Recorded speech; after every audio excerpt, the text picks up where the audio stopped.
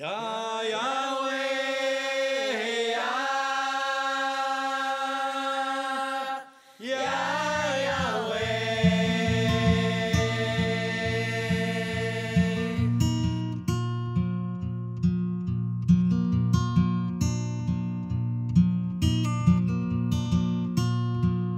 Madawaska Maliseet First Nation is located right in the center of Edmundston, New Brunswick.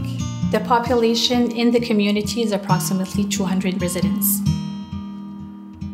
We have 98 units, and those units are comprised of single family homes, some duplexes, and an eight unit apartment building.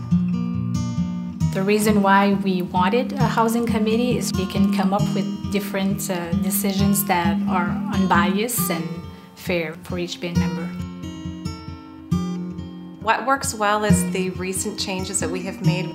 We have these programs in place to help everyone, and I think it has really helped in treating them all with the same level of priority.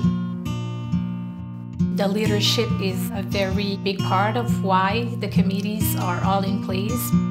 The committee meets on a regular basis to look at different issues or requests that band members come to us with.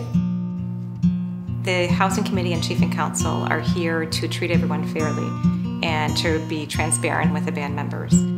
The repair and renovation program was a new idea that came from Chief and Council and then was talked about and implemented by the Housing Committee. The program helped to standardize the requests that were coming in. With our housing repairs and renovations in place now, people are able to put investments into their homes. And it's fair for all of our band members and homeowners.